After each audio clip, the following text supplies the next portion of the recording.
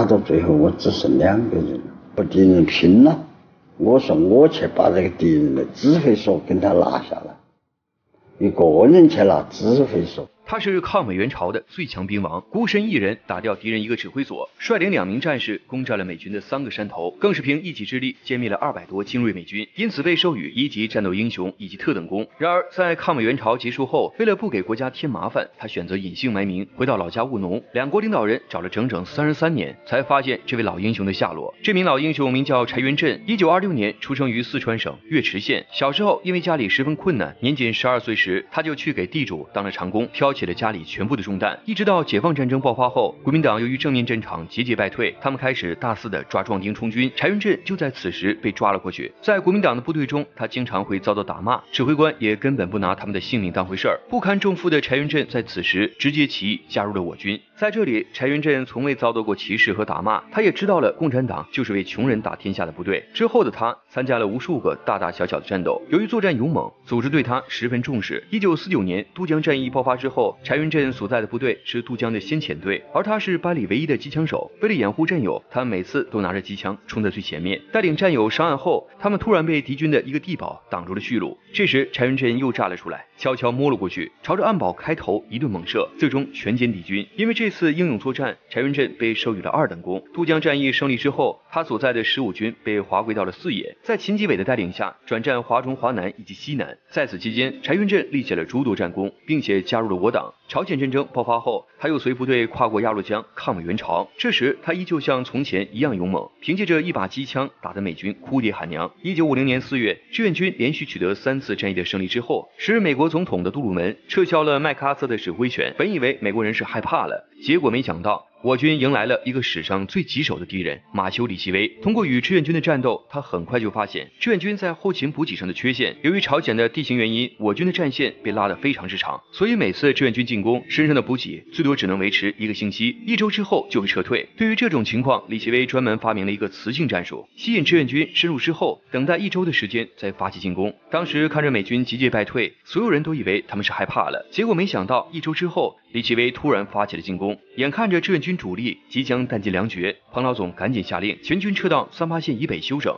然而美军靠着机械化部队的优势，已经追了过来。就在这危难之际，彭老总给十五军军长秦基伟下达了一个命令。不惜一切代价阻击美军，掩护大部队撤退。收到命令的秦基伟赶紧进行了战略部署。这一次，他们要面对的是数十万机械化部队的美军。在我军的必经之路上，有一个十分关键的阵地，那就是朴达峰。这里的地形十分险要，一旦美军占据这里，靠着强大的火力，他们将完全封锁志愿军的退路。简而言之，守住朴达峰就可以让大部队安全撤离。这个任务当时交给了柴云振所在的四十五师三营，他们是十五军的王牌。一九五一年五月二十八日。美军两个团的先头部队到达了朴达峰的山脚下，他们并没有立即发起进攻，而是进行了试探。而发现山上守军只有一个营后，美军调集了一个炮兵营以及三十多辆坦克，朴达峰战役正式打响。抓住了敌人那个重机枪，放一千发子弹，我给他放完一个。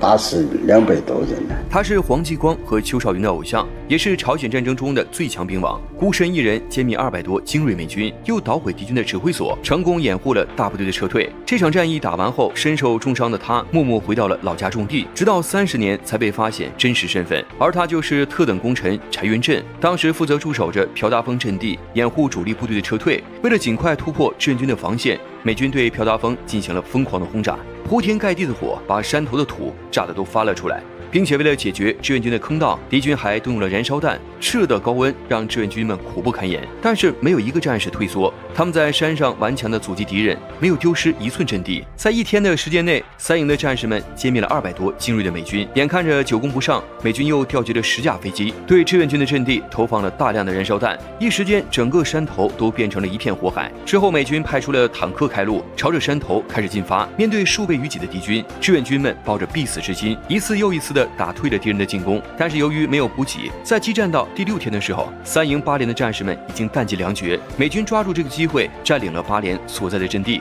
之后，他们加大兵力，又攻占了志愿军的两个山头。此时，我军已经岌岌可危。如果让美军全部占领了朴达峰，那么后方的志愿军主力就完了。就在这危难之际，柴云振主动请战，带人夺回山头。他们班是志愿军的尖刀班，本以为是要垫后的，现在不得不提前启用。很快，柴云振就带着一个班的战士冲了过去。他们所有人都知道，这次行动是九死一生。占领山山头的美军此时根本没想到志愿军敢带人打回来，战斗刚开始就被打了个措手不及。在柴云振和战士们的英勇作战下，很快就夺回了一个山头。但美军也不是吃素的，他们居高临下，用重武器形成了密集的火力网。最终，柴云振带过来的战士只剩下了两个。就在这时，他做了一个大胆的决定，孤身一人去偷袭敌军的指挥所。两名战友从正面佯攻，他则乘机绕到了敌军指挥所前，一颗手榴弹将指挥所内的美军全部歼灭。山上的美军顿时乱作一团。随后，柴云振又朝着第三个山头开始进攻。他偷偷摸到了美军的机枪阵地，跟美军的机枪手进行了肉搏。虽然最终将他击毙，但柴云振也受了重伤，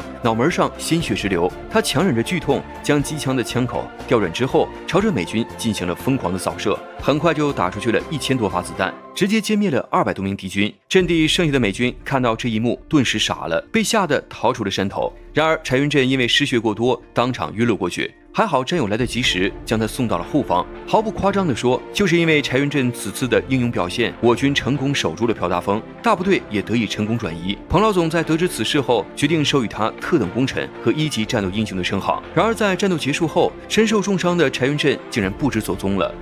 少平